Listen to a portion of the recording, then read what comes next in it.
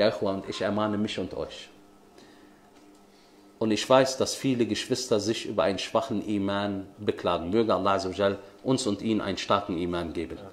Aber ich sage euch eins, der starke Iman kommt nicht einfach so.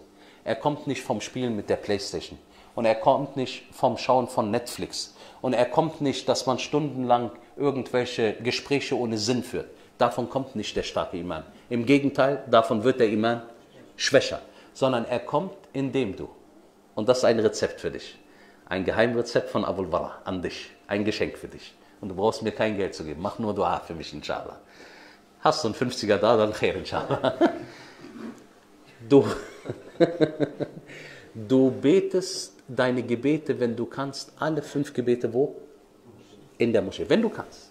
Wenn du nur zwei schaffst, dann zwei, Alhamdulillah. Wenn du nur eins schaffst, dann eins. Aber bete in der Moschee, mindestens ein Gebet. Du machst deine zwölf Sunnen am Tag. Diese zwölf Sunnen, wenn man sie macht, dann wird man von Allah Azzawajal was bekommen? Ein Haus im Paradies. Allahu Akbar. Wenn du ein Haus im Paradies bist, das heißt, du bist wo? Im, im Paradies. Und du machst Dhikr am Tag. Was haben wir gesagt? Welche Dhikrarten, damit wir praktisch bleiben? Wir sagen Subhanallah wa bihamdi, Subhanallah al-Azim. Was noch? La ilaha illallah. Alhamdulillah, sehr gut. Subhanallah, richtig? Subhanallah walhamdulillah wa la ilaha illallah wallahu akbar. Khalas. Zehn Minuten. Zehn Minuten. Wallahi, das ist nicht viel von deiner Zeit. Und so wirst du erfolgreich sein. Dann liest du vom Koran zwischen einer Seite und was Allah Azzawajal dir immer ermöglicht. Aber eine Seite mindestens vom Koran. Und jeden Tag versuchst du etwas zu spenden.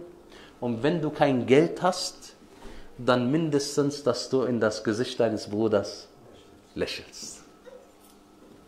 So hast du alle Taten gemacht, die ein Muslim machen sollte. Und du wirst damit das Paradies bi'idnillah ta'ala erreichen. Möge Allah Azzawajal mir und euch das Paradies geben. Möge Allah subhanahu wa ta'ala unseren Iman stärken, auf dass wir bis zum Ende durchhalten und Allah Azzawajal auf beste Art und Weise begegnen.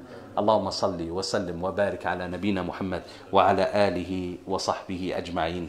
Wa barak lau fikum wa jazakum Allah khairan für euer gutes Zuhören.